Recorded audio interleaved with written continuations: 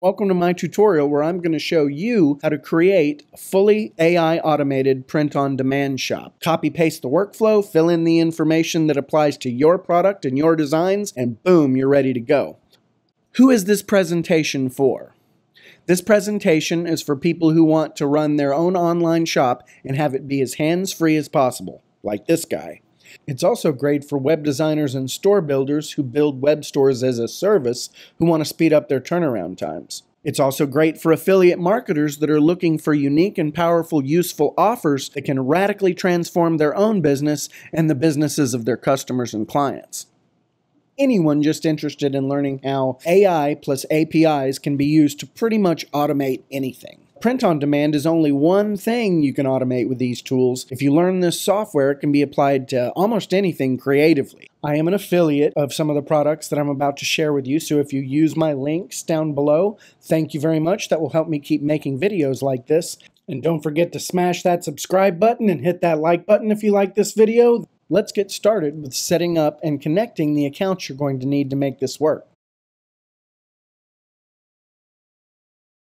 Wondr has partnered with Make and they're offering a white labeled version of Make inside their website. So if you sign up for Wondr AI, you actually get Wondr AI and Make for the price of one subscription. Let's take a look. Start by logging into Wondr AI. If you don't already have an account, I've got a link down in the description for you.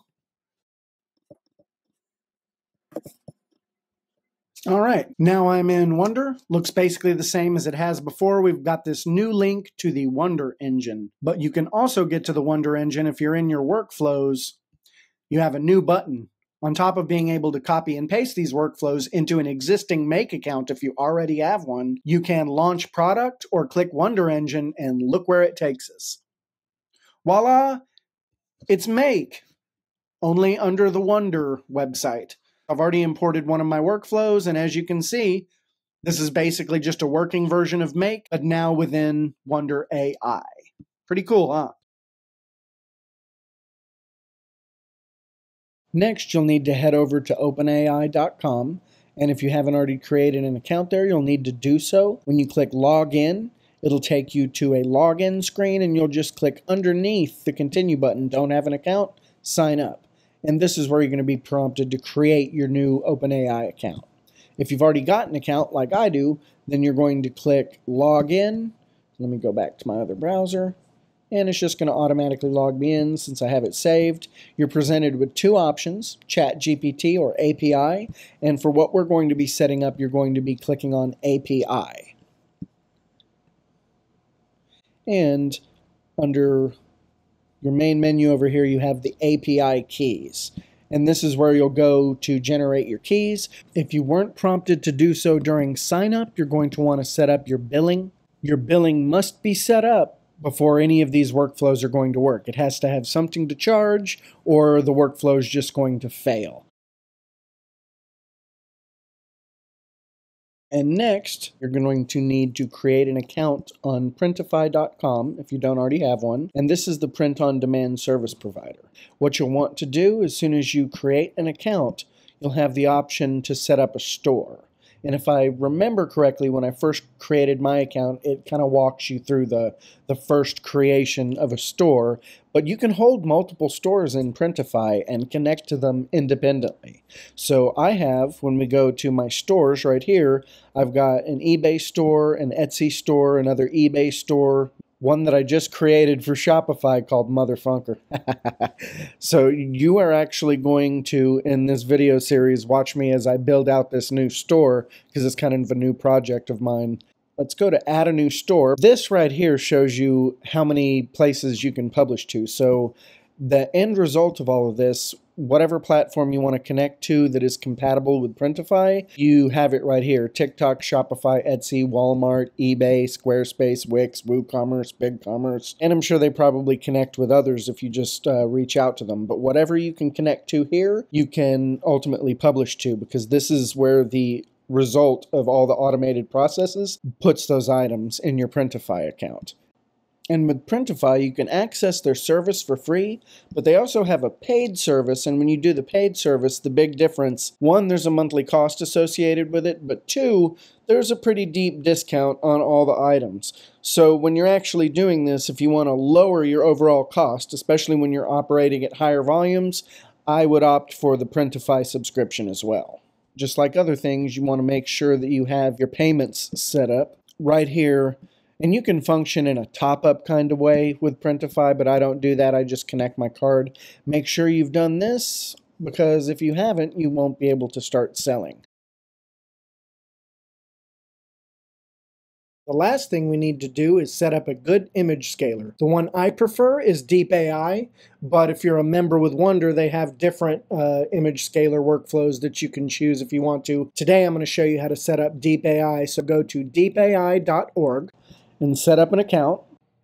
Once you are signed in to DeepAI, you'll go up to the top right hand corner, click on the little user symbol, and you'll want to view your profile. And this is where you either select a plan. I don't do the monthly plan, I just do top ups. So I'll stick like a hundred bucks in every now and then, and that generally covers me for, you know, hundreds, if not a thousand products or so. And what you do is you add credits and you just top up right here that gives you a balance in your account. And once you've got a balance in your account and you've topped it up, go back to Make and sign in. When you're signed in to Make, usually logs you into your uh, organization page, which this is pretty cool. I'm just going to go ahead and go over this. You can have teams and users. So if you have other people that you want to collaborate with, you can invite them and they can work on the project with you. And the uh, invite is just via email. So now let's go to scenarios, and that is what the term is in Make for a workflow or something that will connect multiple systems together. I'm going to go to create a new scenario, and we get a blank scenario and we are going to go over to Wondr. I want to do an all over print hoodie and I want to use the new DALL-E 3. So I'm going to scroll under their premium workflows. So once you sign in, go under workflows, and I believe it's a premium workflow. Let's see. So there's the the hoodie that nope, that's the Midjourney hoodie. I want the one that is DALL-E. There we go. And see the copy button? This is how this works. Click copy, go back over to make, paste. There's the workflow right into your make account.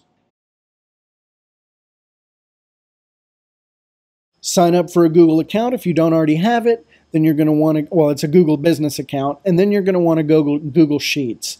Once you are in Google Sheets, you'll click create a blank sheet, title it whatever you wish. I title mine AI Automated Print Shop you're going to enter in your AI prompts into your different cells. In this case, we're using the sheets for our image prompts. First things first, we'll want to connect Google. Google is really friendly. You'll notice I didn't open up a Google tab a minute ago and try to connect an API. Just like everything else with Google, all you do to make a connection is you sign in with Google. And now, say, select from the list, My Drive, and then my spreadsheet is AI print on demand store, but you can see I've got other AI sheets I could use. I've got backpack, training blog, art blog prompts. But for actually generating products, I did AI print on demand store. Then where it says sheet name, I believe it'll say prompts, but you need to select what is in your account. Mine happens to be sheet one, and I'm going to draw from cell A1. And I'll show you what that means. You go to your Google Sheets, if you've created spreadsheets here, you'll see them in a list. If you don't have one, go ahead and create one and title it whatever you want. You'll be selecting it inside of that make module. Here you can see I've got all these different prompts saved. Feel free to steal them, don't care. this is my kind of brainstorming list that I have right here. I'm to back out of there and you can see cell A1 is brightly colored urban cyber psychedelic pattern high detail. That'll become more apparent how that's going to look when we generate a product here in a few minutes. So I've got my Google Sheets there, and I've connected to Google Sheets here. I've told it cell A1. It then passes that information into our OpenAI module. if you haven't connected it here, you'll want to go to add, and this is where you're going to need the information from OpenAI. So you'll go over to your OpenAI website, and you're going to go to organization and that's where you're going to find your organization ID which is under settings. So copy your organization ID paste that right there and then where it says API key you'll want to go over to API keys and generate a new key. And then once you've got that key paste it into that field save and you'll have a connection to OpenAI saved. And you can choose this is the uh, generate an image module the first one we're calling up and you can choose DALL-E 2 or 3. Uh, while you're first kind of developing through this, you might want to choose 2. It's got more simple options and it's less expensive to use. But I'm now using DALL-E 3. I'm not sure what the exact cost is. I'd have to look on their website. I just noticed it's a little bit more expensive for me to generate each image. And then you can also set your quality to HD, which I, I find very nice and it comes pre-set up. All you have to do is choose the model that you want to use, hit OK. Then it passes the image to the next field, which is going to be for text creation. This one is create a completion module and it comes pretty much pre-selected but you will have to change one thing. If especially like me if you are already using the wrong module this model will not be selected. You will need to select the new 3.5 DaVinci model so that that's what it says right there.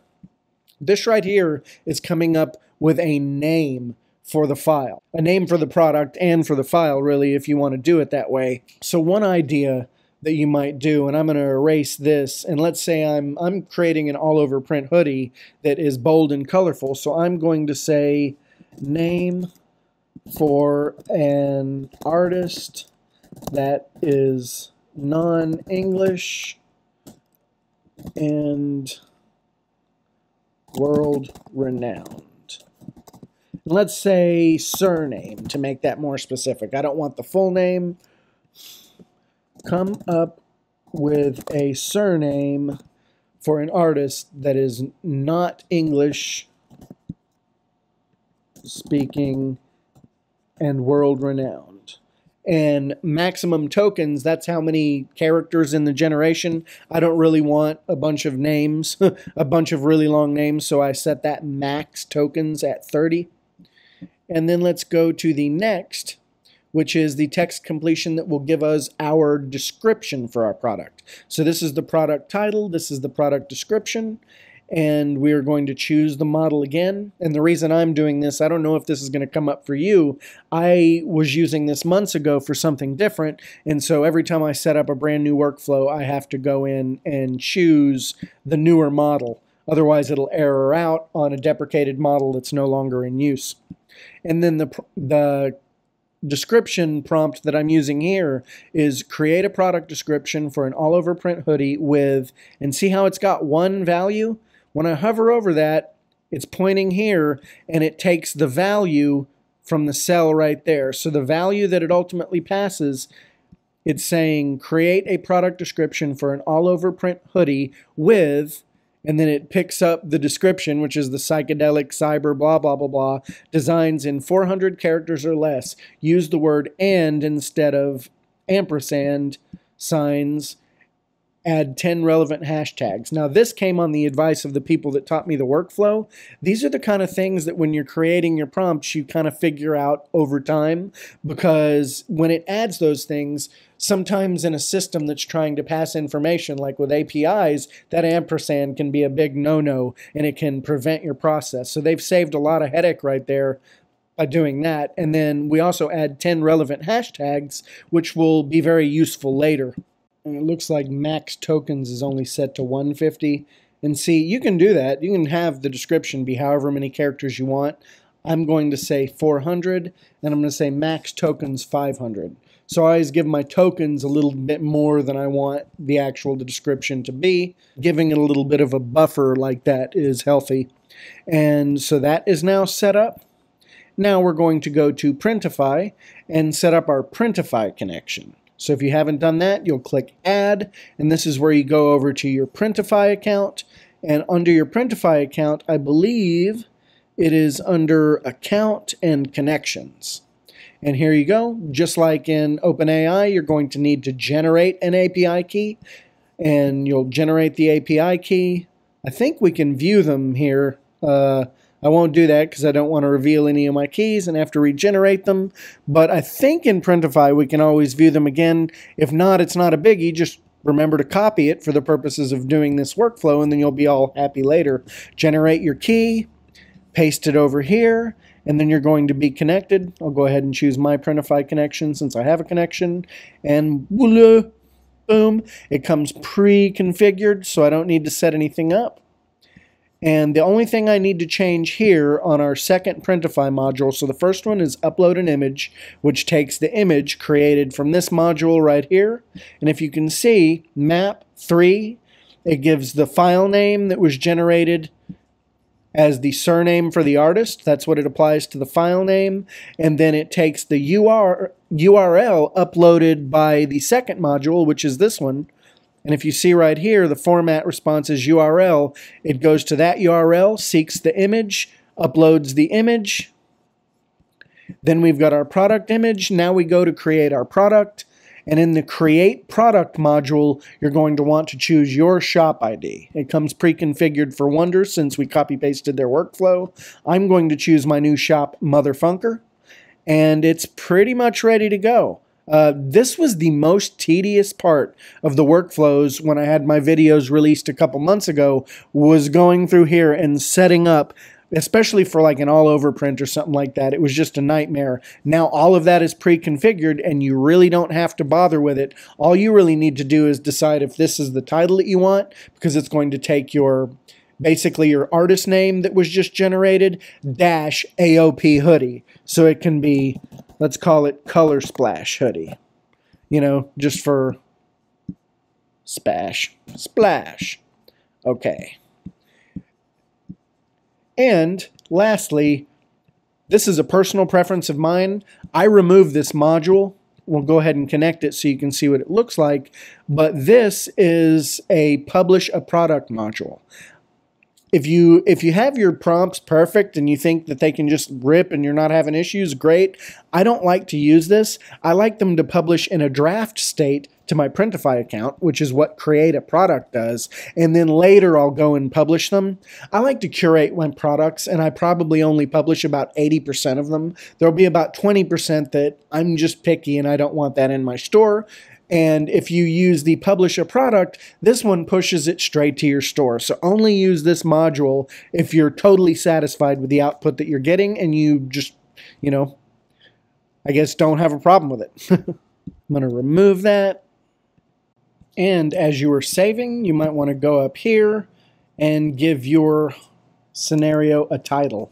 So let's call this colorful all over print hoodie. Now when we go to save, it'll have a title that's easy to look up later. If, like me, you end up with loads of different scenarios and you need to look for it, I'm going to search for hoodie. There we go. There's the workflow I just created. This workflow as it is is not really ready for Printify. So we've connected the main bones. Now we need to put this into an image scaler. The image that is generated right here, even though we've selected HD, is still 1024 by 1024, and we're going to need to scale that up a little bit for it to really work on an all-over print hoodie. So what I'm going to do is create an HTTP module. I'm going to unlink these two modules and then I'm going to add, and I'm going to search for HTTP, and we are going to make a request, and now we're going to fill out the rest of this info. So to set that up, you need to go to Deep AI. Then you'll want to go over to your profile, which is clicking in the right-hand corner up here, View Profile.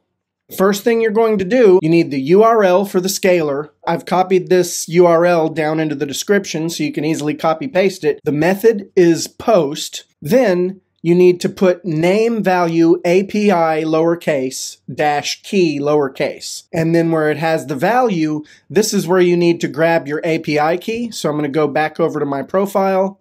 I'm going to scroll down and we have API keys and you have the option to view or generate a new one. Grab your key, paste your key into the HTTP module. Then you'll want to scroll down. Under body type, it's XWW form URL encoded. Then you're going to want to open fields and you're going to want to enter one item. Under key, you will say image, all lowercase, and then the value is going to be the image that you generate from the image generator module. This is what will pass the image to the image scaler. And then I believe the rest of the settings are the same. Parse response is always yes. Let's go to advanced. Yeah, that's all blank. So I haven't needed to configure anything else. Once you've got that set up, run your process. And then if you haven't already done so, you'll need to modify your Printify module so that it grabs the image from your HTTP module instead of DALL-E. Now that's going to pass the proper values, I'm going to run the process again.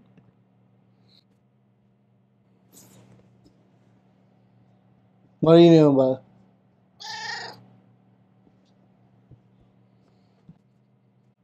Sweet, my process completed. Let's go over to my Printify account and see what it did. So I'm going to go to Products, Refresh, Garcia Soto Color Splash Hoodie. Let's see what it made. Not bad at all. Not bad at all. I like it.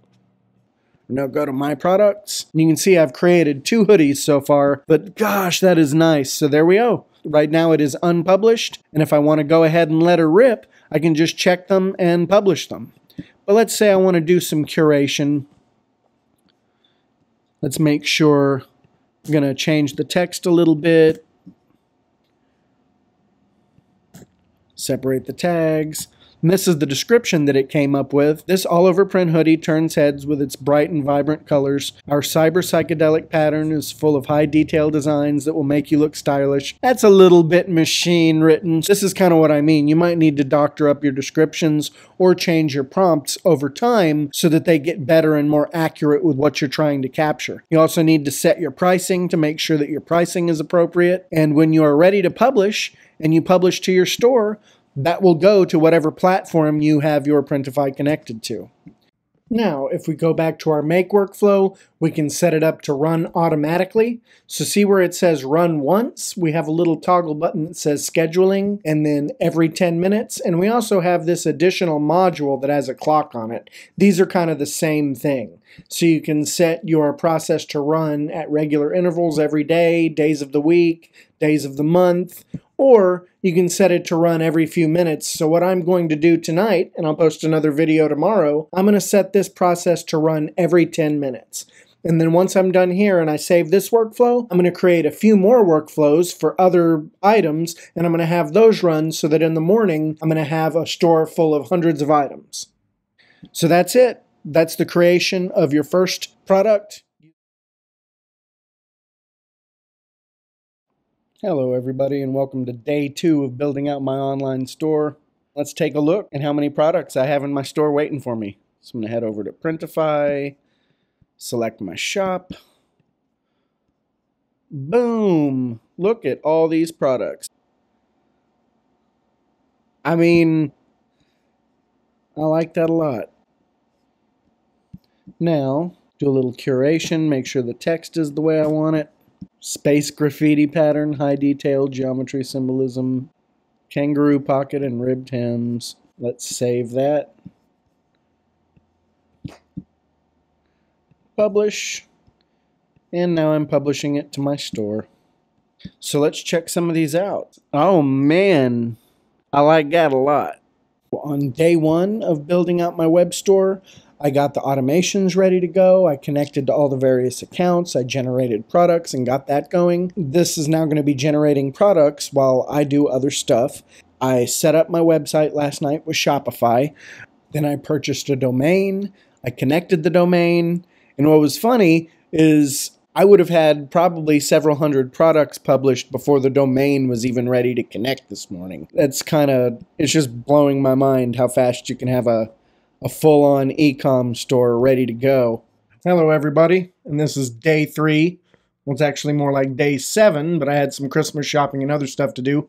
My store is now live. It's out there in the wild. I've got one subscriber to my email list so far. Let's take a look at what was created in the last few days.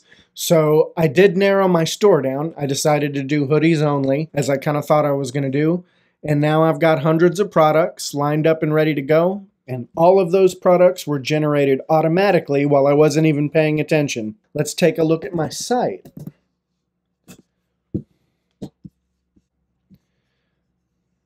I went from zero all the way to launching a fully automated print on demand store with over 400 products in three days flat.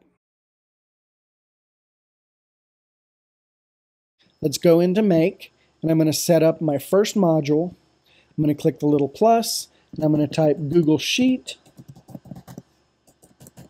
if I can spell today. There we go. I'm going to select Google Sheets. All I want to do is get a cell. This tells it to go to the spreadsheet and call up a particular cell or a prompt uh, in this case.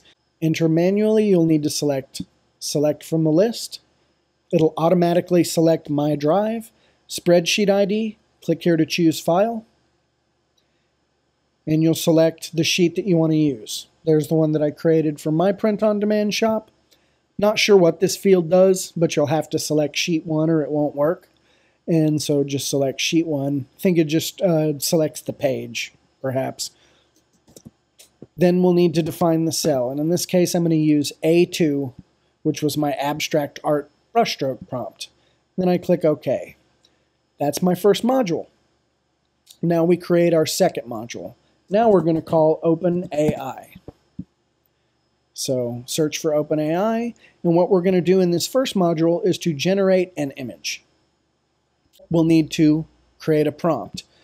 Well, we've already got our prompt. It's in the spreadsheet. So what you do is you're going to map it. And you notice when you click down in this field, it pops open a list. Every module that I had uh, here, right now there's only one other module, so that's all it shows. It would show up right here, and I'm going to select value that is going to call this Google Sheet and select the value that was chosen right there. So now that I've done that and I've prompted my photo, we need to select a size, response format, I keep it as URL, and the number of images, the only practical number for a print on demand process is one. So you'll leave that at one and hit OK. So now we have it set up to where it's going to draw from this Google Sheet and generate an image. Let's see how that works before we connect anything else. I'm going to click this little play button and run the process once. So you can see it already ran Google Sheet. It got the value of that cell and now it's running this and it's done. When it's done with its process, you'll see a little one. You can click that and you'll see input and output. So check this out. The input it took my prompt, and then the output under data and one, we now have a URL because I told it to output the image as a URL. And if I want to see it, I can copy that URL, go to my web browser, paste it. There's the art that was generated. Beautiful. However, it's not very big, and if I try to blow it up, it looks kind of crappy. That's where the image scaler comes in, and we'll set that up here in just a little bit. Next thing is I need a product description and I need a title. Uh, so we've got the image that's going to go on our product, which by the way, right now I'm going to set up a piece of uh, canvas art. So I'm going to go into OpenAI again. This time I'm going to create a completion. And you'll notice when I select it, my OpenAI connection is already established. You don't have to do that every time. Once you do that once, you don't have to fool with it again. So create a prompt completion or create a chat completion. We're going to choose prompt completion. We're going to choose model text DaVinci 003. This is the most up-to-date, but also the most edited and stable. They don't give access to Chat GPT 4 yet, unfortunately, but that's probably coming. Then we have where we want to put in the prompt that will generate the product title. So because I'm going to use this from a product title, I'm going to say generate a product title for a canvas art print using.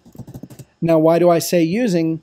I'm going to map it to the cell. So, or to the image that I just generated, not to the cell, I'm sorry, not the Google Sheet, it's just sitting there. So I'm going to map it to the image output. And you'll notice when I put down my cursor, I now get two options here. One of them is this little module, and it's kind of blocking it, but that's what it's referencing right there. So right there, I'm going to put down my cursor and I'm going to select, this is the generate an image module, and I'm going to go down and put data URL. So this is going to actually generate a title based on what it sees in the image.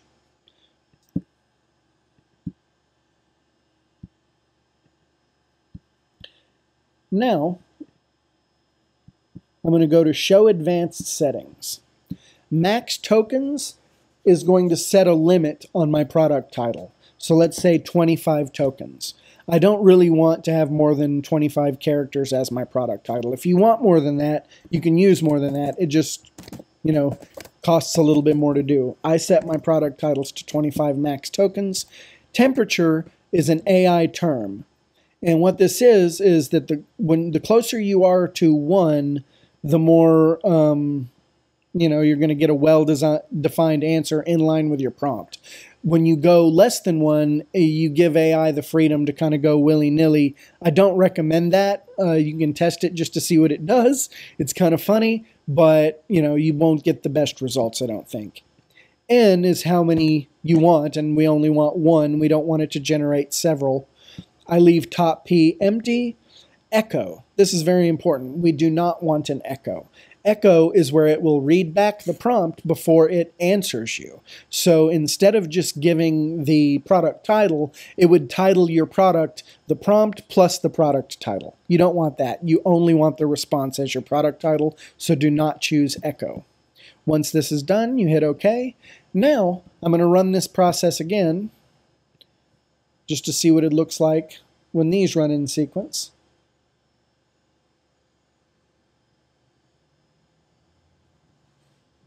Now every time I run these, it's adding up a total in my OpenAI. So in my OpenAI account, under Manage Account, it has the running total of how much I've spent.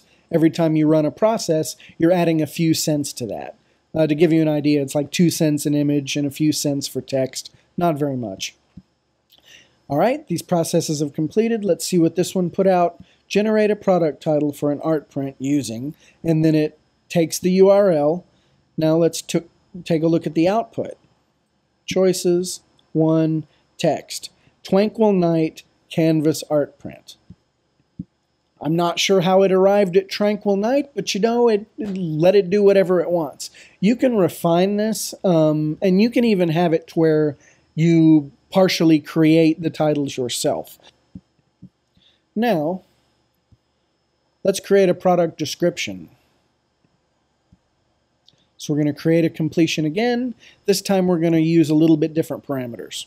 So I'm going to use text DaVinci 3. This time I'm going to say create a product description for a piece of canvas art using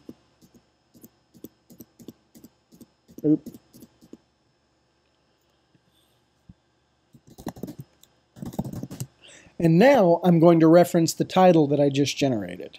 So over here we have the completion that generated the majestic art on a seascape and it's going to take the title and it's going to generate the description using the title. So this is something that I'm going to add right now. I'm going to kind of segue. This is just a little lesson in prompting. I found that negative prompting is just as valuable as positive. So oftentimes when I'm creating this right here, I'm actually going to tell it what I don't want it to do. So I'm going to say, do not reference the name of any artist live, living or dead. Do not, you know, things like that every now and then it'll crank out a product and it'll just put some artist's name on it and you're like okay that's nice but uh, that won't fly you know so you kind of need to curate your pieces a little bit before letting it rip to make sure that all your prompts are giving you the output that you want. So now, and before I go on, I'm going to show advanced settings. It's important not to overlook these because you can get some pretty hairy results. So I'm going to do 1100 max tokens. Oh, and that's another thing. I'm going to limit this. So create a project description, a product description for a piece of canvas art using that and use no more than, let's say, 300 characters. You can do more, and I'm going to set my max tokens to 400. That just gives it a little bit of leeway, but in general, that's the max amount of tokens it can spend, the max amount of money it can spend uh, generating this. So I set it to 400, and in general, that's going to ensure that it will not go over that amount. You also don't want it to just generate a very long, wordy description that's ultimately useless for you. So there we go. Temperature, I'm going to set to 1, like I did before. Ignore top P. Set the number to 1. I do not want any echoes. And there we go. So now I've got my description, and I've got the first four. I've got the image generated, product title generated, and I've got my description generated. Now I have an optional module, and I'm going to do one more completion. I like to create a list of hashtags that I'll use in social media. So just like we set it up before, we're going to create a prompt completion, select DaVinci 03, and now I'm going to say generate a list of 10 relevant hashtags for, and I'm going to reference the title. So there's my create a completion. There's the title. So I'm going to say well, actually, I'm going to, instead of just referencing the title, I'm going to reference the article. So up here, we have the one we just created. There we go. Generate a list of 10 relevant hashtags for, and then it calls up the, the product description. And now it's important to have them formatted like you like it. I always include something like do not use bullets, numbers, lists, and or commas. Separate hashtags with spaces. That's how I prefer it.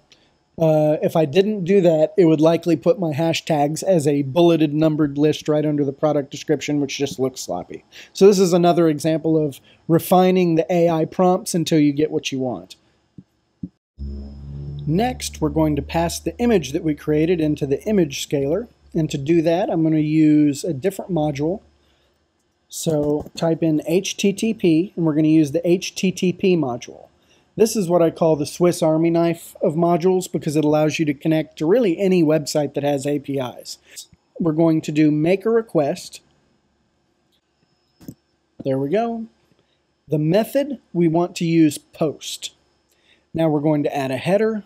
That'll be API-key, all lowercase. It might be different for different websites that you use, but that's what it is for this. And this is where we're going to actually insert our API key. So I'm going to go back over to Deep AI, copy my secret key, and paste it in there, and now I'm set up. Where it says body type, we need to enter application XWW form URL encoded. And then where it says fields, we need to grab the image.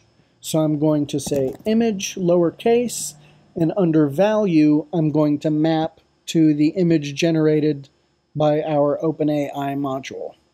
So there we go, data URL. Now it's going to take that image, pass it to this website, and enlarge it. And last option, parse response, yes. Don't need to select any advanced settings here. I've been getting the results that I want just this way. Don't know what the advanced settings do. So now we have that set up and let's run the process and see our enlarged image. There we go, it's done. And let's see what the output was. So under output, we've got this output URL. Copy paste it to your web browser and there we go. And look at how much it's zooming compared to the first piece of art I created. Much larger.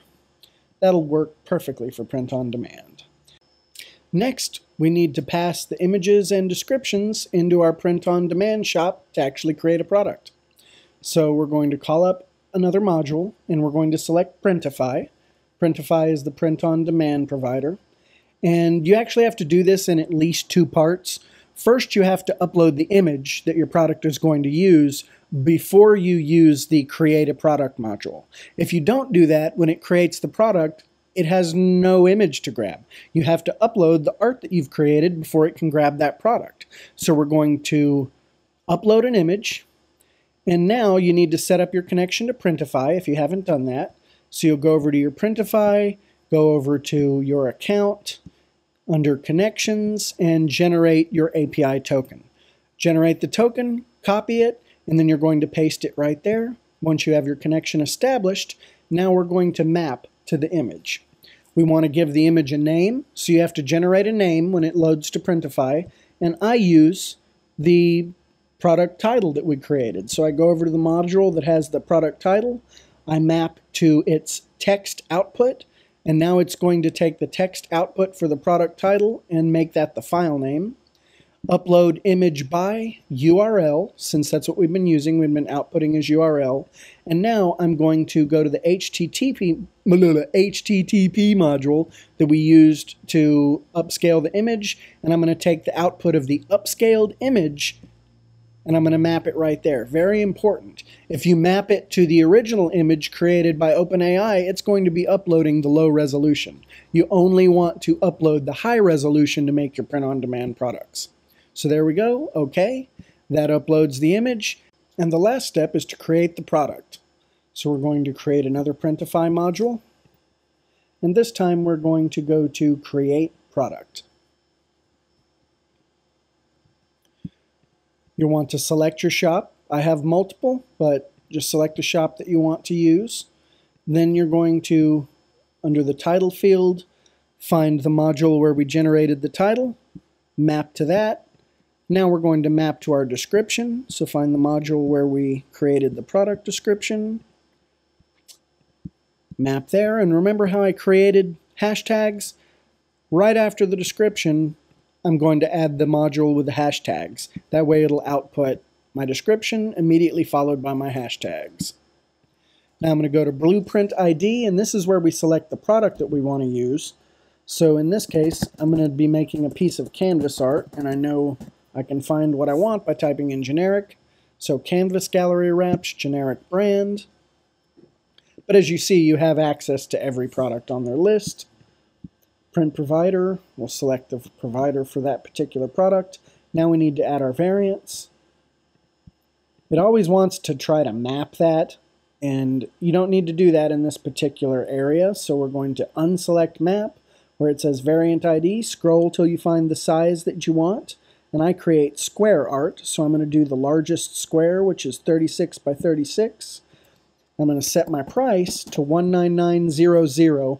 And the reason there is there's the two zeros because this system will always output two decimal points, but it just doesn't tell you it's going to do that. So to get a price of 199, I need to put in 19900. If I put in the decimal, it messes it all up. Now I'm going to enable that. And now I want to create another variant to give another size option. So I'm going to select the 24 by 24 square, and I'm going to price that at $99, 9900 enabled. Now I need to put the image on these things. So where it says print areas, I need to add item. I need to add my variant ID. And just like before, I need to select my largest variant here. And that's actually all I'm going to select.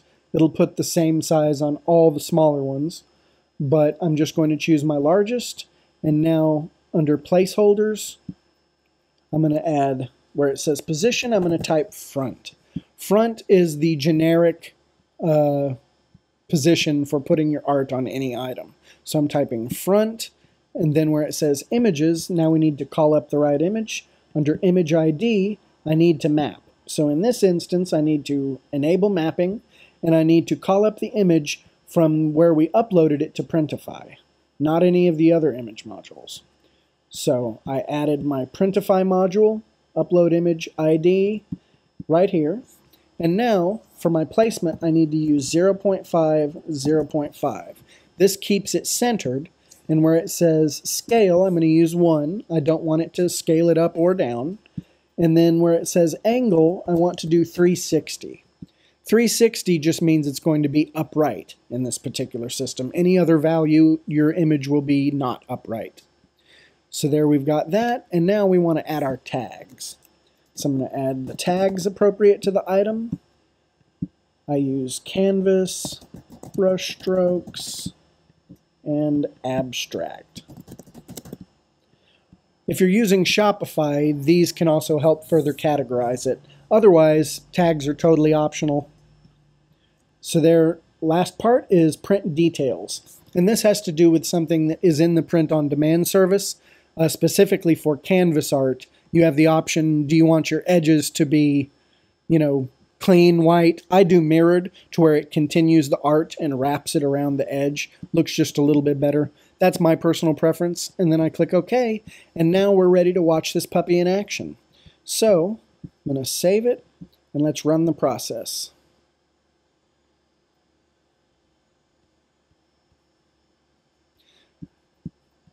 And at the end of this, it's going to put a product in my Printify shop and the product is going to be unpublished.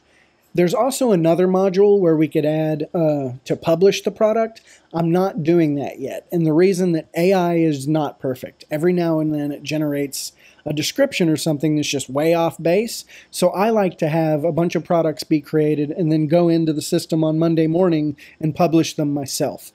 And I publish them after curating it a little bit just to make sure all my descriptions and titles are are right. Otherwise, you'll end up with some weird things. Hopefully in the future that changes. So there we go. It went all the way through every process. I'm going to go over to my print on demand store, go to my products, and there we go. There's the unpublished art that it just made. Art print of raging waves on the rocky coastline. Well, as you can see, I need to refine how I'm doing that title right here. Probably I just need to reference uh, brushstroke art or something like that to get it to work right but it generated the product.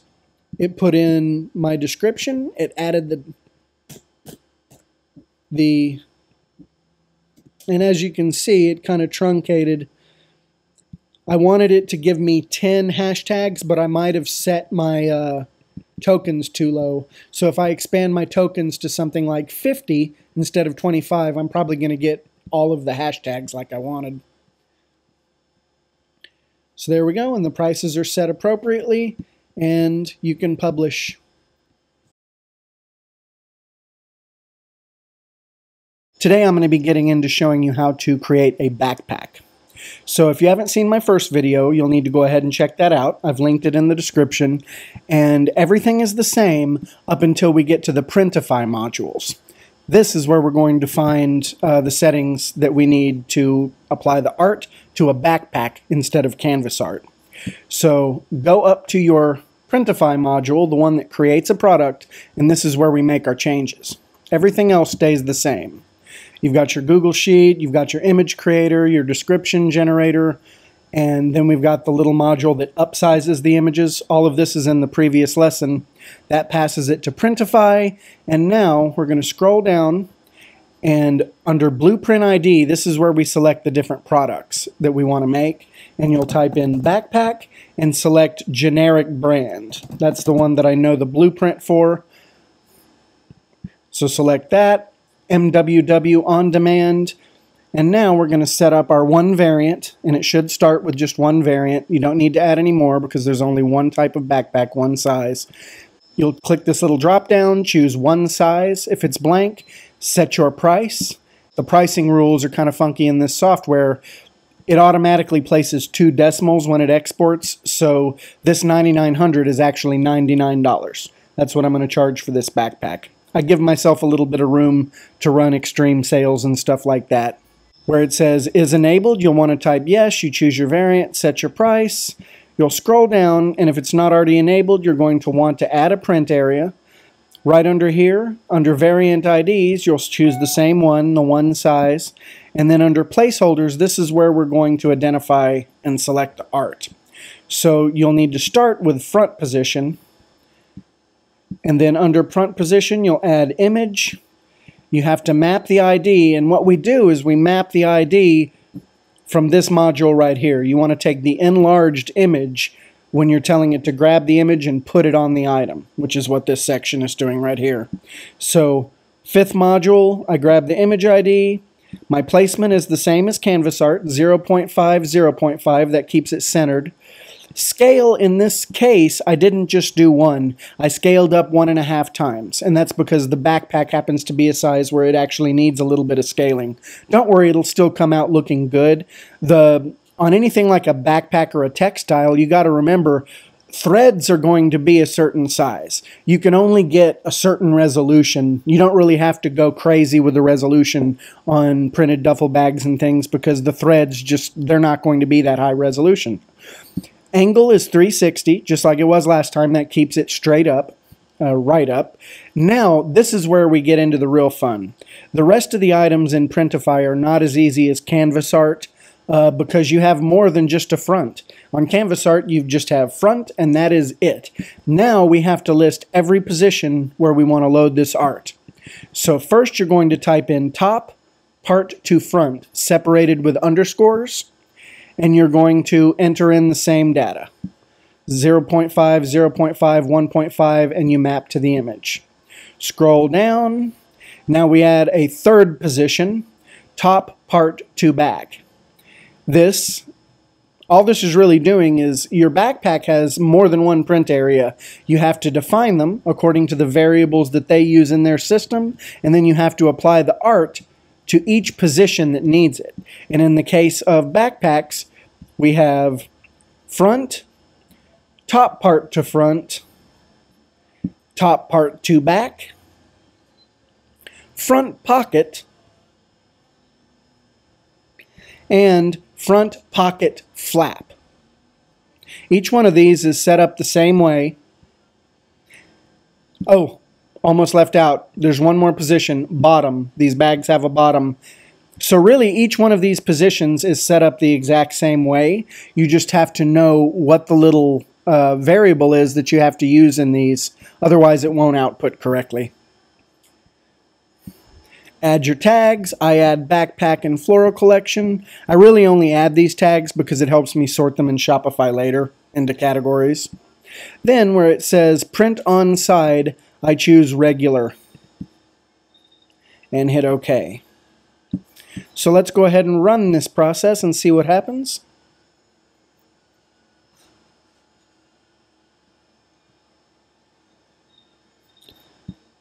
Now it's generating description, enlarging the image, passing the enlarged image into Printify's library, creating the product.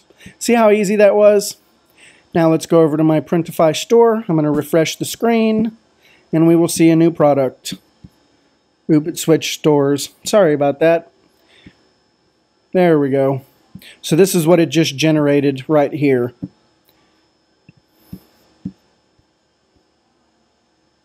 Beautiful. Generated a floral pattern. It applied it to all the places on the backpack. And now it is publishing to my store. That's it. That's how to create a backpack. Stay tuned and we'll learn how to create some other fun stuff.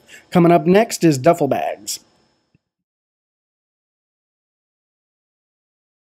Today I'm going to show you how to make duffel bags using OpenAI and automated workflows. Like the previous lessons, go into your scenarios, and the easiest way to create a new item is to actually clone it. So you'll clone one of the ones that you've already created, and then once you've got the item that you want to modify, let's go into my duffel bags, make it easy for myself. Today I'm going to crank out a brushstroke oil painting pattern duffel bag. So everything remains the same. Put your prompt to the style art that you want to put on your bag. Then you go into your Printify Create a Product module, and you'll want to, you know, if you change the title like I do, I title my duffel bags dash duffel bag to make it easy for myself later in sorting my store. Go down to your blueprint ID, search duffel bag. If I'm not mistaken, there's only one option. Yeah, so select your duffel bag, MWW print on demand, and what we're going to do now is set your variant ID, and you'll notice there's two variants available here. Totally up to you if you want to sell both bags or just one. We'll set up the large variant ID, and if you want to, to set up the second one, it'll be the same process, but you'll create an additional variant. Lather, rinse, repeat. So I've selected small, set my price there, same thing. In the print areas, if you wish to create both variants, you're going to actually have to create the next variant. You'll have the option to add it down below, and it will be its own variant and its own set of placeholders. So under variant IDs, we will go to large, and I'm going to set up my large variant here. Placeholders are front. Everything is almost the same in your configuration, mapping to the image in your upload an image module, settings, but then we have Scale 2.0. The, the textile thread used on the duffel bag is thicker, so you're not going to get the same resolution. Therefore, you can actually scale the art up even more, and it needs to be because of the printable surface area, but you won't notice. You're not going to be able to notice the resolution simply because the thread is so large. So, pretty cool. Your art will show up looking amazing 9 times out of 10. Then, next position is left underscore side lather, rinse, repeat. And I'll come back to this in a minute. I've added a logo to both sides. And what I've done, the reason I have it, well, I'll come back to that in a second. So your next position is right side, lather, rinse, repeat. And those are your print areas on your duffel bag. You have three different print areas. Now let's back up. You'll notice that I added an additional image item and it appears to have a PNG selected well, it does have a PNG selected. This is my company logo, or the brand logo rather. I created a PNG so that I could have a tiny logo inside of a bigger square centering a smaller logo tab. And you'll see what I'm, I'm talking about in a minute. So I was able to select my logo and you have to upload this into Printify.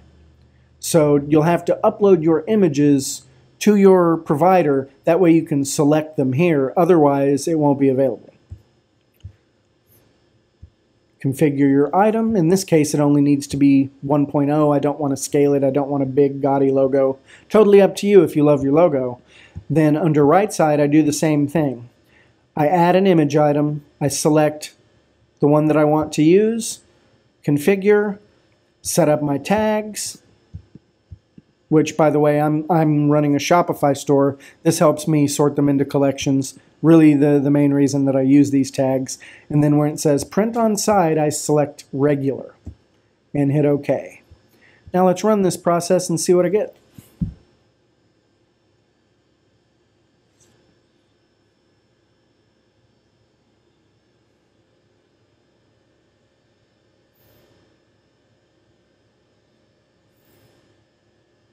Alrighty, so we're going to go to Printify refresh my page.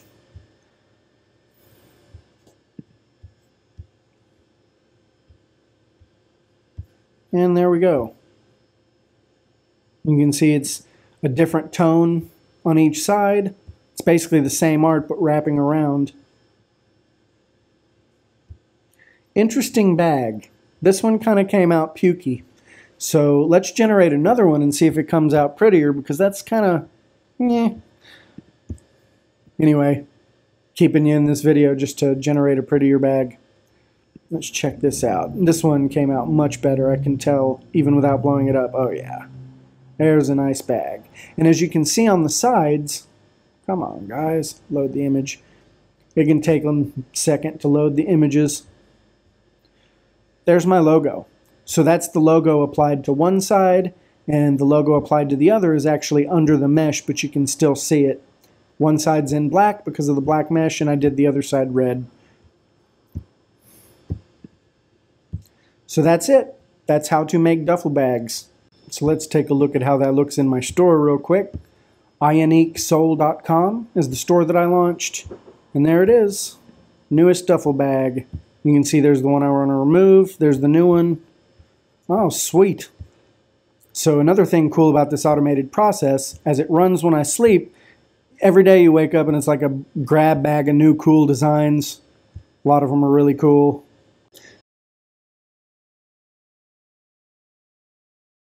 This morning's lesson, I'm going to show how to make t-shirts. I've had several requests, so I'm going to do something just a little bit different. I've never done this before. I don't know exactly what settings to use, and I'm going to make a video where you see me figure out how to do all that. So let's go first. I've got open make.com and I have Printify open. First, I'm going to go over to Printify and let's check out some of the t-shirts. So the ones that I use, I'm a cheapskate for these. I try to use the least expensive t-shirts that I know are good quality. And in general, I like Gildan. I have plenty of the shirts myself, so let's see. I like the heavy cotton tee a little bit better, so that's the one that I am going to look for. So, what I'm going to do, go over to make, and I'm going to grab one of my already existing scenarios, and I'm going to clone it, because that's easier than starting from scratch. So we're going to clone this puppy, give it a new name, cloned, shirt. We'll figure that out later. Save. And now I've got a cloned process and we can go in and modify it. So let's see, what do I want to make? Let's say camping, hiking, simplified graphic t-shirt.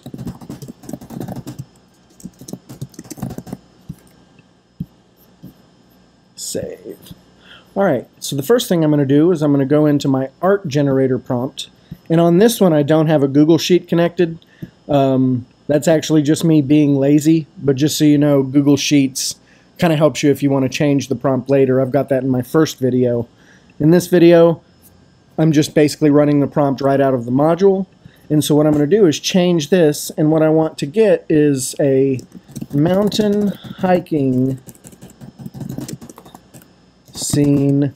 And I'm going to give it some special prompts because what I want, I don't just want like a photographic on the shirt, though no reason you can't do that.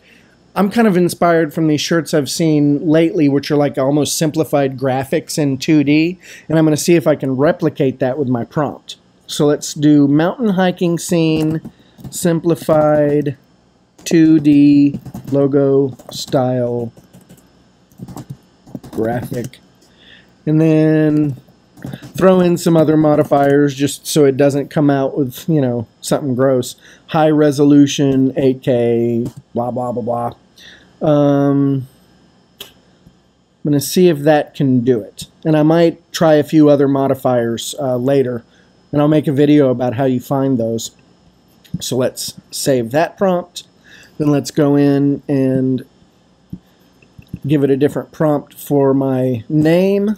And I'm going to name it um, generate a...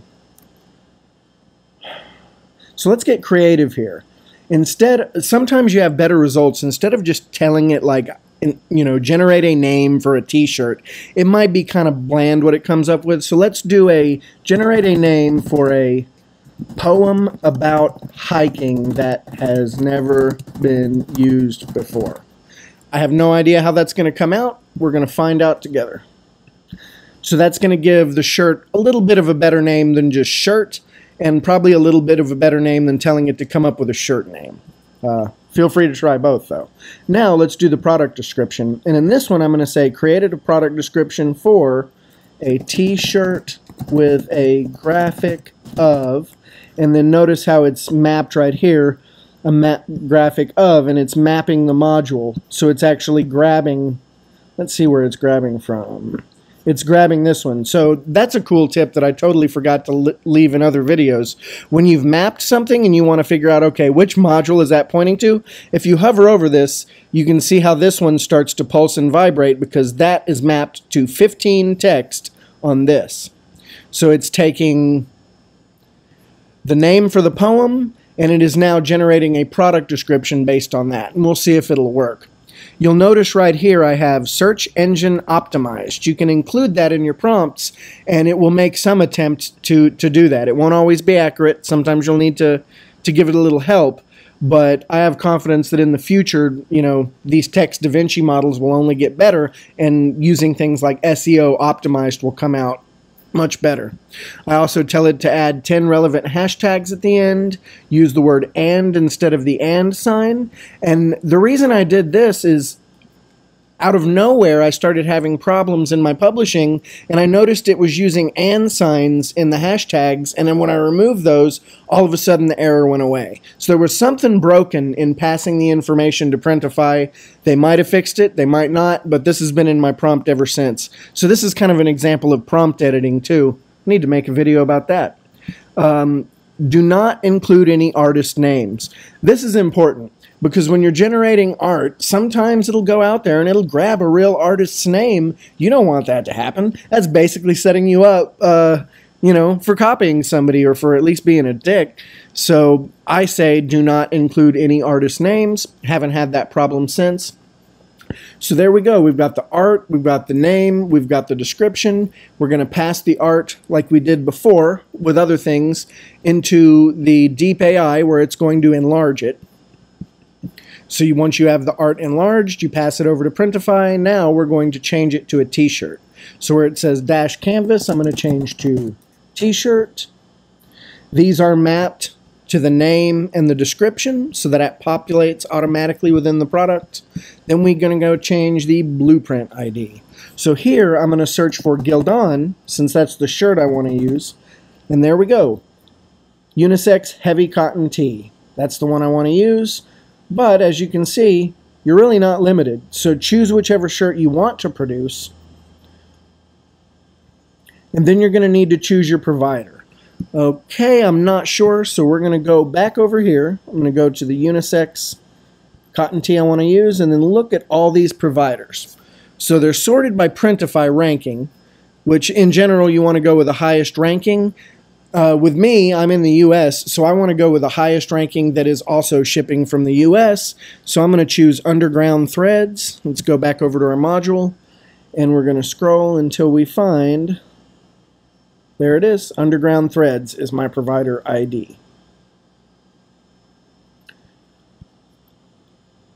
There we go. And now we need to set up our variants. This is kind of complicated in shirts because you'll need to set up a variant for every size and every color that you want. That is very tedious and there's no escaping it. I'll give you a little nugget of wisdom, um, at least from my own experience. If uh, so, when I'm creating shirts, if I create them in an assortment of different colors, none of those do as good as the shirts that I create in one color with just different size options. It might be an analysis paralysis kind of thing. Too many options makes people, you know, they don't know which way to go. I don't know. In general, I have better luck with just one color and making different sizes. So that's what I'm going to show here. So as soon as you set up your variant, you don't want to do a mapping, you want to do a drop-down menu, and I'm just going to do, let's see, I don't know what azalea is. Ice gray. Where is a brown? Okay, we'll do military green since I'm doing a hiking and camping shirt. So I'm going to set up my variants. I've got my small variant. And based on the pricing over here, you'll set your prices. So let's see what the actual pricing is on these puppies says starting from 739, but I bet you that is not Underground Threads. Oh, wow, from 519, so that's even better. So what I'm going to do is price based on that. I'm going to price the small at, let's see, $14. Then I'm going to set up the next variant, and I'm going to do the medium in the military green. I'm going to set that at the same price. And the pricing, you'll have to, you know, base that on what the actual prices are. I'm not going to show that. That'll be your own research. You'll have to go over into Printify and examine the prices to determine what you actually want to charge. In general, for larges, I charge 17 to 19, but that's just me. I like to run sales, so I price them accordingly so that I can do that. All right, so now we have three variants but I want to add more. I want at least XL and XXL. So I'm going to do that.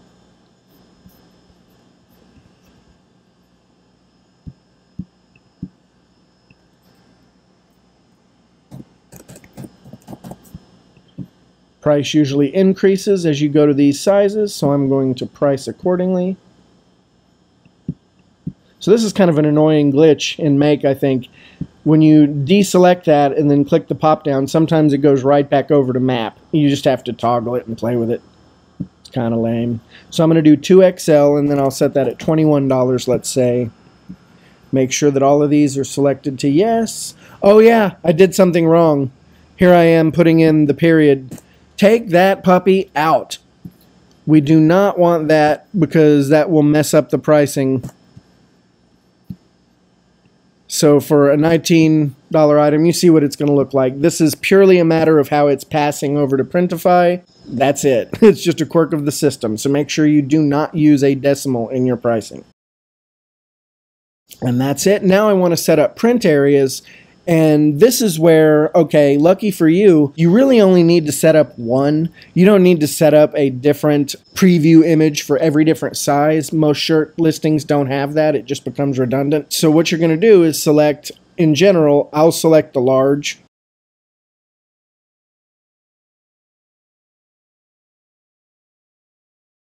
And now you set up your placeholders. We've got front, that's the only one I haven't tested the back, and we'll do that maybe in another video. I would assume if you want something on the back, you would need to add another placeholder, set it up as back, and then set it up, you know, let's find our image. So I'm going to select map.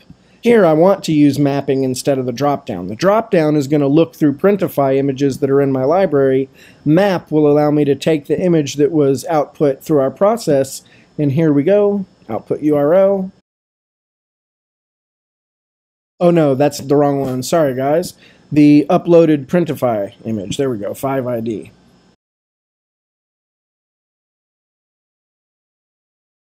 Now, I'm going to leave scaling at 1, X and Y at 0.5, angle 360 keeps it right side up. I'm going to change my tags to t-shirt and hiking, maybe outdoors. Set these however you want sometimes in your in your shop they're going to help you sort according to category. So sometimes there is a rhyme or a reason why you might use tags or not use tags at all. And on print on side i'm going to say regular and not do any of the funky options that you might do for canvas art. I've set up my product. I've set up all my variants and their prices. And then i've only done one print area example. You could do this for everyone, you just really don't need to. What's going to happen is as they select the different preview images on your product, they're not going to see a difference from small or anything like that. They're just going to know by selecting the size that that's the size they're going to get. If you don't want to handle it that way and you want to create new previews for every single one, that's just more work for you, but it's totally possible. So I've got everything set up the way I like it. I'm going to save. And let's run this puppy and see what I get. Enlarging the image. Uploading the image. Ooh, we had an error. Variance ID must be an integer. What the heck? Let's see what's going on there. Oh, look at this punk. It mapped. So even though I selected that correctly, somehow in processing it tried to revert back. Now I have to select my variant ID again manually and so this is going to be the XL, because it's the fourth place. Military Green XL. Punk. Yeah, that's what that was. And I'm blocking my own button. Okay. Save. Success. Went all the way through the process. Let's go over to my store, my products. There we go. Sojourn through Wildwood t-shirt. Fingers crossed that this came out. Oh, wow. Did that do what I want the first time? That is not bad. I might, uh, you know, it needs some tweaking. So first thing I notice, it's not military green. What's going on here, Printify? Let's see. Oh, weird. It looks like it wants you to select the military green manually. Yeah, looks a little bit better, but I, I want to go and tweak my stuff. But for what I was trying to accomplish, that's not half bad. It's abstract. So there we go, a t-shirt. And if you wanted the graphic to be smaller, because, you know, that's a little bit big, I was actually going for a more smaller centered graphic. What I would do, and let's test it again, I'm going to go in, And under the print areas, where it says scale, let's do 0.75. I'm going to change my prompt a little bit. I don't know if this is going to work. Clean lines. What is the style from Zelda's Wind Waker? Rotoscope. Rotoscope. There we go. Rotoscope style. See what that does. All right, save.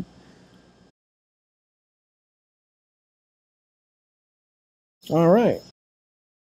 Go over to the store. My products. Mountain Trekking Temptation. Let's see what this came out with. Not bad.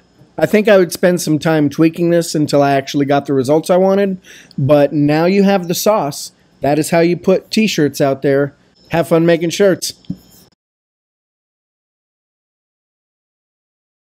Today I'm going to show you how to build multiple product workflows that will allow you to generate multiple print-on-demand products simultaneously and then publish them to the same store or even completely different stores. First I'm going to log into my Wondr account. This is where I go for the copy-paste workflows that make things way easier on myself. So I'm going to go over to my workflows menu, premium workflows, and I want to snag an all over print t shirt workflow. I don't want the crew.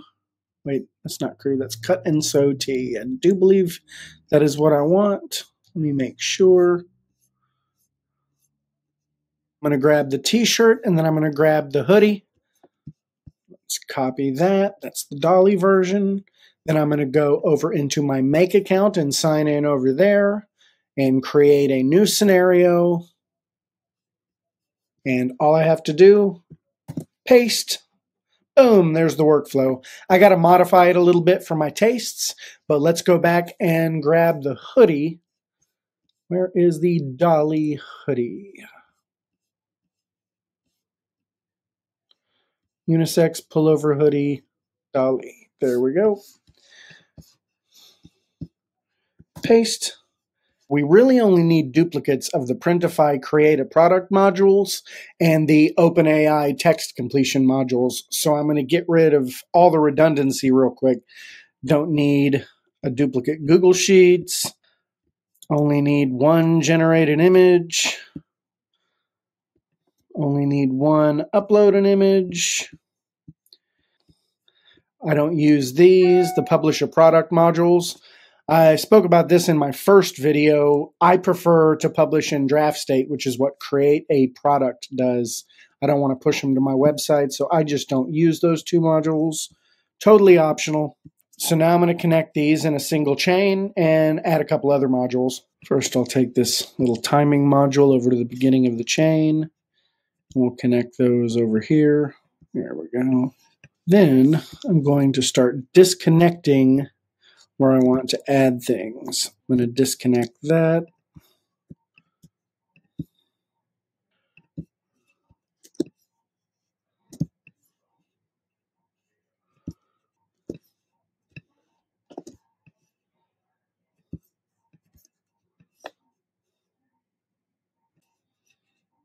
And this is mostly a matter of my organization right now. I'm setting it up the way I want it to flow in my head.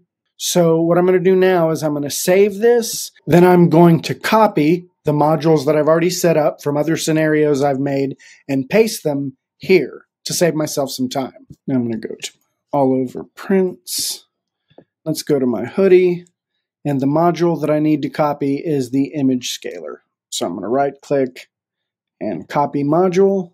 And then let's go back to the scenario I was just creating.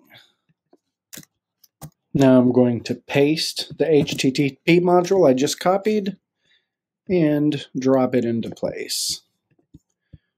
And now I need to get rid of that. So we have one generate a title, two generate descriptions, and the order here kind of matters. I need to put my generate a title before I upload my image so if you can see where it says file name, if I hover over that, the module that it is using starts pulsating, this one right here, it is pulling the file name from the generated name here. So what would happen if this module was all the way over here? Well, what's going to happen? The first time you ever run the process, it's probably going to fail because nothing was generated for it to pull from. So right here, it's looking for the image URL that's generated right here. And so we're going to have to run this process and get that value. I bet it won't be here. So look, I want to assign yeah, it doesn't have the full path. It's data URL. But to get that, I'm going to have to run this process one time. So let me run it and let it fail. Sometimes you have to do this to get the value that you need to click on to be present. Here we go. It's generating our URL. Then it's going to fail at Printify because it does not have the full path. It's just got data. Now we have to delete that, get data, and output URL it's kind of lame that it doesn't show us that, but I think it's because we can choose different types of output, so it doesn't exactly know what to put there. But you always have to kind of run processes before you actually get them running so that you can fill out all the fields and make. All right, and we have generated a description twice. I'm going to link those. And then I have my create a t-shirt and create a hoodie one after the other. Now let's run this process again. Let me save. Uh, it's still telling me my module has changes I need to save. When it does that, it wants you to open up the module that's got the indicator, which is this little black circle. Click on it, hit OK, now save. Then let's run it and let's see what happens.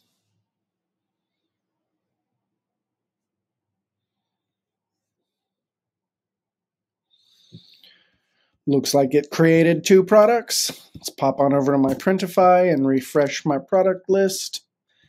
And there we go. Entropy Nexus. It created both a t-shirt and a hoodie that is matching. Looks like it's overusing the word Nexus. So in another video, I'm going to go through modifying my prompts so that I don't keep getting the same repeated nonsense terms. Kind of gets boring. So let's go back over to make, and I'm going to set the intervals that I want to run this process. And I've already loaded up my store. I don't really want to just load it up with new items every 10 minutes. So what I want to do now, and this is totally optional, by the way, if your method is to blast out thousands of products just so that you get the volume out there and Google scrapes you more, you know, that, that might very well be viable. So I'm going to do every day and generate a new hoodie and a new t-shirt every day. And I'm going to have some kind of a model where I show, you know, showcase the newest thing every day on my social profiles and keep it to like one post a day. Going to save. And now it's set to run every day. If you want to add more modules to this workflow and add more products, all you have to do is copy paste them, add them to the chain. I recommend doing them sequentially.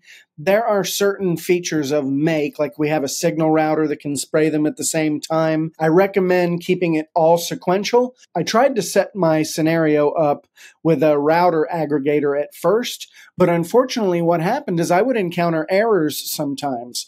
My only conclusion is that Printify doesn't like it when you have simultaneous connections going trying to upload images all at the same time. The system would be much happier if you would upload one product at a time. This workflow right here can also be extended really as long as you want it to be. I'm generating one title and one image that I'm applying to multiple products. You could also modify this to generate multiple titles, multiple images, and spit them into multiple products. You could even publish to multiple stores. And I want to show you how to do that real quick. It's actually pretty easy. So first, we're going to go over to our Printify account. If you haven't already created multiple stores, you would need to do so. Printify, you can create as many stores as you want under your Printify account, and each different store can connect to a different platform, and it walks you through that when you're setting it up. So right now I have my main website, but I could create a new store point that and connect it to my eBay store. And then I would go back into my make scenario. I'm going to copy this module. I'm going to paste, connect them in sequence. And now I'm going to connect this to my eBay store instead. So instead of Motherfunker, I'm going to grab Scholomance, which is one of my eBay stores, hit OK. And that's it. Now it's going to publish it to my website, and then it's going to also publish it to my eBay store. Oh no, my workflow is broken. I was just about to make a new workflow video and I discovered my processes haven't been running for almost a week. So what the heck happened? I dug into it and I found some documentation on Make. Apparently they have changed the API with OpenAI. I didn't find any real specific documentation on how to set that up. So I spent a little while tinkering until I finally got it to work, and I wanted to show you how to get your workflows back in action if you don't already know. What you are going to want to do, OpenAI has changed the way they handle their text completions through the API. They are no longer using prompt completion, so what's really happening to cause this error, it evokes prompt completion, and then the model that it's looking for just isn't there anymore. If you check out the error message, Text DaVinci 3 has been deprecated. But then you can't select any new models. When you go to create a chat completion, you're able to select the new models. So you can select right here. I'm using GPT 3.5 Turbo, but feel free to test anything else if you want. It's handling this just a little bit differently. So as soon as you select that, you might scroll down and notice, well, where's the field where I want to enter my actual prompt? And so here, what you're going to want to do, where it says messages, you'll notice if you try to close this, it'll tell you the field must not be empty. So it's waiting for something here. And I just kind of poked around until I got this right. I click add item. I went to role and I selected system. First, I selected the others and it didn't really work. And then this is where I copied the prompt from what I had before. So I'm going to switch back real quick to create a prompt completion and it still contains my prompt. I'm going to copy that switch back over to chat completion, and under role system, I'm going to paste message content. And this was just kind of a shot in the dark, but it did return a value that I could use, although it put it in a little bit different place. So let me close out of that, copy. Then I want to open up this one, which is my description, and I'm going to copy paste first. So copy paste what I've got there. Then I'm going to go to chat completion, do the same thing that I just did, 3.5 turbo. Then I have to add message, role, system, and I'm going to copy paste the prompt that I had before. Everything else should be good. And now I'm going to click OK. Those will now return new values. And what's going to happen is at first, this is going to error out because we have to choose the returned values and right now it's referencing the way the older modules worked. I can't grab those now so let me show you. I'm going to run this workflow, let it go all the way through and fail at the printify modules and then we're going to get our returned values. I had to poke around in the results to figure out where those were. So I want to show you how you do that. Might help you troubleshoot modules in the future. Let's run. All right, there we go. So it failed on my Printify module, and what it's telling me, missing value. It couldn't get the value for the image name. So let's see the, the results it returned. We go to Output Bundle, Choices, One, Message, and you have under Message, that's the little name it generated. And so what that's going to look like when we want to reference that, we will delete what is there, because the, the error message we're getting right here, it's not able to grab the file name and we are going to find choices, message, there it is, where it says Vandermeer, messages, content. That replaces that, and now it will create the file name based on the output we just generated that landed in a slightly different place. And the next step to getting this working again, if I run the workflow right now, it's going to fail again. And the last step is to make changes in my create a product module, and I can do that now without having to run the process again. I'm going to simply select under the title, choices, message, so that'll put the name right there, dash AOP kangaroo pouch hoodie. And then in my description, I'm going to go to delete what I got there, and let's do the full description. Again, under choices, message, and content. Let's make sure everything else looks good. It should. Yep, haven't really done anything different to the way it handles images. So I'm going to save this. Uh, it's telling me modules. If you ever get that message, it really just wants you to open up a module and click OK. So I'm going to do that over here. That little black icon on the corner was indicating it had unsaved changes. Save. Now I don't get that little error message, and let's run this process again. There we go. It was successful. So let's take a look at what it put in my Printify account.